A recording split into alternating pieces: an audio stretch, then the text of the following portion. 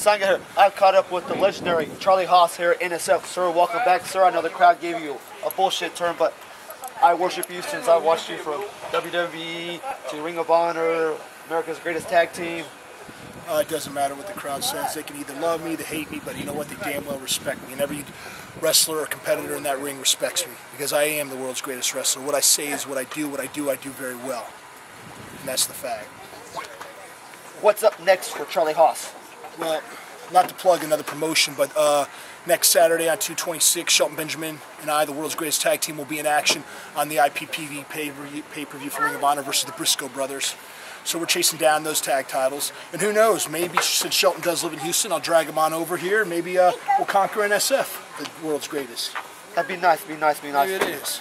Sir, welcome back. I Thanks, appreciate man. it. Appreciate it, man. Appreciate it. Thank you. Charlie Haas, God guys. bless Check him out.